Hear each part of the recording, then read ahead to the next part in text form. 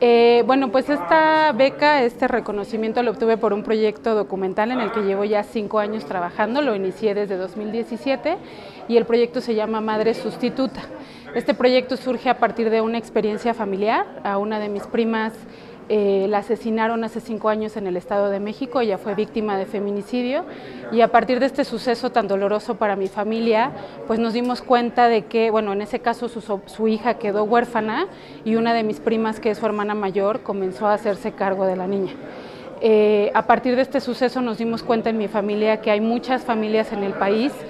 eh, que están sufriendo los estragos del feminicidio, pero sobre todo también de manera indirecta, y me di cuenta de que las únicas víctimas no son solo las mujeres a las que asesinan, sino también las mujeres que quedan a cargo de las infancias huérfanas por feminicidio, que se convierten en madres sustitutas, en un abismo legal, sin absolutamente ningún apoyo del gobierno y en medio de muchísima impunidad debido a que los casos no están accediendo a la justicia. Pues creo que de las cosas más fuertes, pero también creo que importantes de visibilizar, tiene que ver con que en el año que mataron a mi prima, que fue 2017, estaban contabilizando alrededor de 7 feminicidios diarios. Hoy en 2021 estamos hablando de 11. Entonces esto, esto es lo único que nos habla es que en México no está habiendo justicia, que a las autoridades mexicanas no les importa la vida de las mujeres y que definitivamente la corrupción, la impunidad y este sistema machista y patriarcal nos está matando a todas. No, ha habido absolutamente ningún apoyo. Las autoridades del Estado de México únicamente amedrentaron y amenazaron a mi prima como, lo han hecho con muchísimas víctimas. Esto no es ningún secreto, el Estado de México es uno de los estados, sino es que año con año cambia el ranking, pero sigue siendo el estado con mayor índice de feminicidios en, el país y esto quiere decir que la violencia contra las mujeres va en aumento y las autoridades no están haciendo absolutamente nada.